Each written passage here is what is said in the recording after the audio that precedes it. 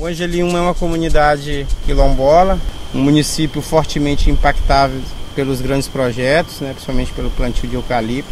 É, meus pais, meus irmãos, é, né, meus avós faleceram tudo aqui, nasceram aqui, morreram aqui também nessa região. Então essa área de retoma, embora ela seja uma área de litígio, volta e meia tem pressão da empresa para que as famílias saiam. Né? A gente também faz uma retaguarda de não sair, de ir para o diálogo. Né? Então, volta e meia sob ameaça, mas, é mas a, gente, a gente conversa bastante com as pessoas e fala o importante é produzir, é mostrar que a gente quer que a gente quer um outro modelo, a gente não quer esse modelo mais, a gente precisa dessa área para produzir alimento. Agora a gente tem coragem de tomar em qualquer lugar. Eu mesmo tenho um pedaço na lagoa ali, eu quero plantar seringa, eu estou esperando tirar madeira para mim fazer entrar plantando. Quando eu entrei aqui, esse rapaz meu serviço saiu aqui, de moto, ele me falou, ô Juca, rapaz, até que eu que tira o calibre, rapaz, não dá nada não. E eu desanimei, disse, rapaz, essa ideia não vai dar mesmo não, porque ele, puxa muita água, né?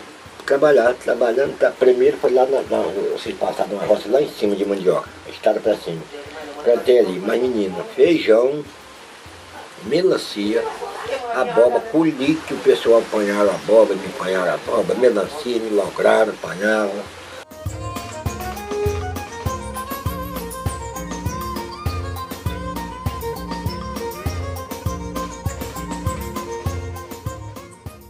Que hoje passei, hoje passei quilombola, tem muita gente que quer ser quilombola, mas passei quilombola hoje tem que morar na terra de quilômetro. Ele tem que passar dormindo no chão assim, ó.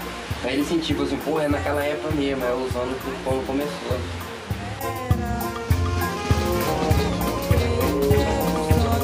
A disputa aqui hoje, eu acho, com a empresa, ela é uma disputa da memória. Eu acho que o que está em disputa aqui hoje é a memória do que, que era, do que é a Mata Atlântica e da transmissão dessa memória.